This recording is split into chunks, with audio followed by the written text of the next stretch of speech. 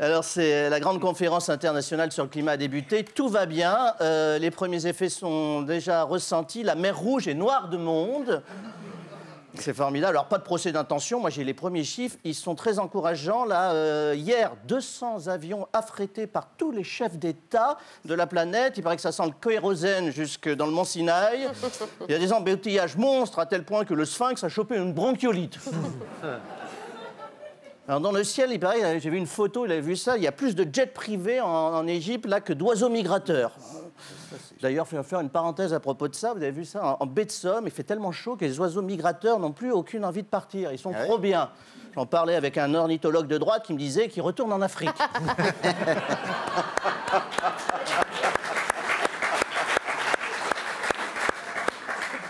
Alors, euh, l'écologie qui questionne évidemment beaucoup les jeunes en ce moment. hein, euh, c'est vrai que les jeunes s'intéressent à l'écologie, ils sont éco-anxieux. Là, j'ai Thérèse Bantine qui nous avait écrit qu'à 12 ans. Thérèse Bantine. Thérèse Bantine, 12 Ouais, ouais, ans. elle, nous ouais. écrit C'est quoi la COP 27 Alors, déjà, c'est quoi? Ça s'écrit pas C-O-I. hein, euh.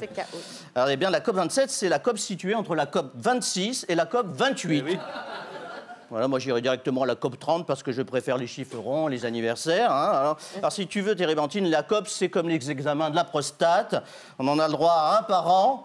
La différence, c'est que dans les COP, les trous du cul sont filmés de l'extérieur. Voilà.